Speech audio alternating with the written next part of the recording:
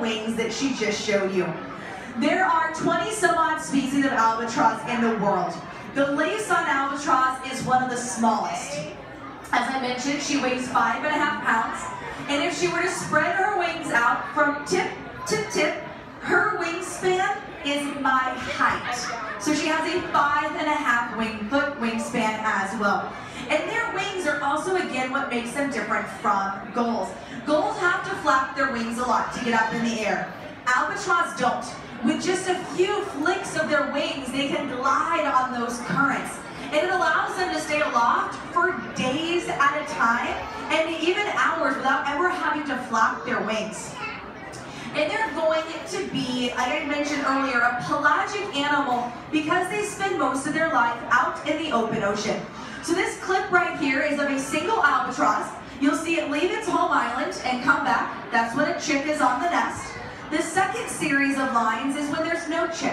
And you'll notice that they head much, much further away from land and spend a pretty good amount of time before coming back.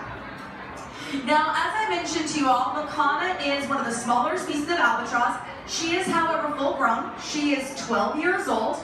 Uh, her estimated lifespan is somewhere about 40 to 60 years, so she's going to be here a while. Uh, and she is an incredible bird. The largest of the albatross is the wandering albatross with a wingspan of about 11 and a half to 12 feet. Now, as I mentioned, Makana came to the aquarium because she sustained a wing injury when she was very, very young. She got here when she was almost six months old. So this is Makana as an adult, this is Makana as a kid. I know, wasn't she cute? And like I said, she suffered a wing injury.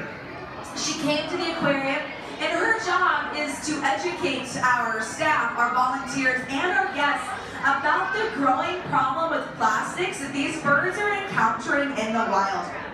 Now, one of the albatross' favorite food to eat, and I mentioned it earlier that Makana was enjoying, is squid, which is definitely an animal after my own heart.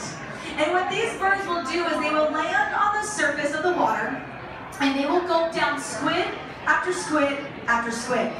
And recently in the world's ocean, these birds are finding something that's not squid, but they're still eating it. Of course, I'm referring to plastic. Now, historically, single-use plastic was kind of seen as the way of the future, right? You used it once, then you threw it away. But where's away? You know, I hate to tell you all this, but there is no away. Pretty much every single piece of plastic that has ever been made is still